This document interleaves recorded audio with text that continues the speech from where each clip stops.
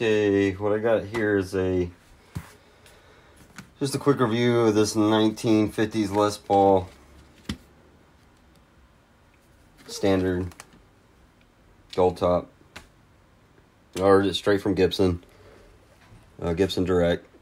This is actually the replacement for one they originally sent me that had this fret, this last fret was actually sunk in and you could see it in the binding there's a way I'll load that those pics for that one in this video. I'll try to get them in there so you can see what I'm talking about. Um, a better visual of what I I saw and what was wrong with that one.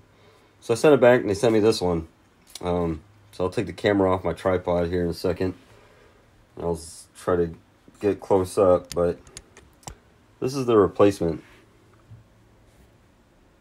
Yeah, that's exactly how it came. You see this is broken there. And yeah, that does that replace, you know, can that be replaced? Yeah, sure. That can be replaced. Should it have to be replaced? No. Not at this price point, no. Shouldn't. Foam pad. Okay, and then I'm going to try to get this lifted up and where you can actually see there is a deep scratch that runs if I can get the light to pick it up that runs there you can kind of see the reflection there that runs all the way down to the truss rod. I mean that's deep. I mean you'd have to sand through you know probably a millimeter or so that finish to then you would risk you know I'm sure this is a very thin finish you know, and that came from the factory like that. I mean that that's not something that happened in shipping. Could this have happened in shipping? Sure, could have possibly, but I I really don't see how. Um, that looks like something that was there originally, and then it just went out like that. I, I bought many guitars, and I this is the first time I've ever seen that in a guitar shipped like that.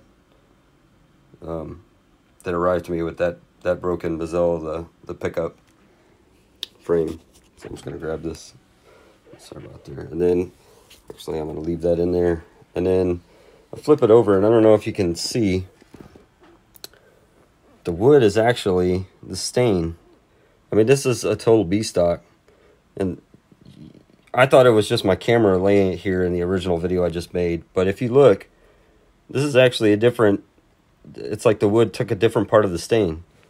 So that's the color of the entire back, what appears to be that color. And that's actually a different color and it runs all the way down the neck. All the way down. Sorry, I'm trying to get my camera in focus.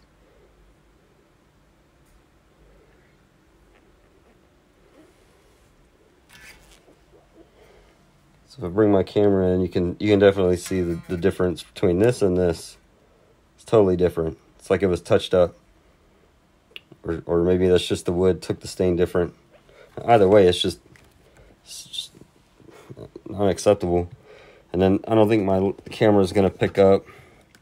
So I'm trying not to lift this out of the case and mess with it too much because it's going back. But there is orange peel all the way down here on this binding. I mean, like it was sprayed. It's just horrific. You can see, I get my camera to focus, you can see where it starts there, and it just goes all the way down.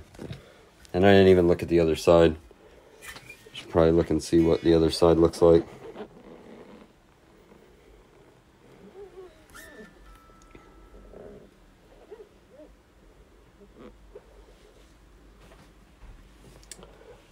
But you spend that much money for for a gold top, and that's that's what you get second time around. So not not too impressed. No, I have an agile uh, 30. I think it's a 3100 MCC, 3200 MCC. Not the neck through one, just the regular Les Paul. And I got that a few years back, probably like four or five years ago. Um, and it just for the for the four or five hundred dollars I think I paid for it with a case, it just trumps this. Even the imperfections it shipped with. Um, and that's not the first Agile I bought either. So I mean, there's something something going up with. You know, I don't like to bash companies, but a second time around, and this is what you're sent, totally unacceptable. And at the price point, it just shows where where their uh, are there is their quality better? All this talk about their quality being better, I'm not seeing it.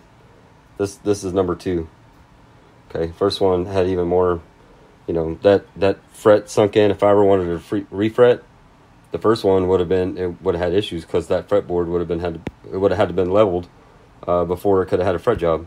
And yeah, I usually do that anyway, but still, yeah, just not not too happy. It's other than that, it looks looks great. Um, does it play all that great, even with this damage? No, it really doesn't. It really has a crap setup as well. Um, like I said, the Agile that I had shipped it, it shipped with even better setup than this has. Um, so yeah, if you're looking at getting one and you're gonna get it direct from Gibson, this is probably what you're gonna get. I hope that you don't, but this is what I got.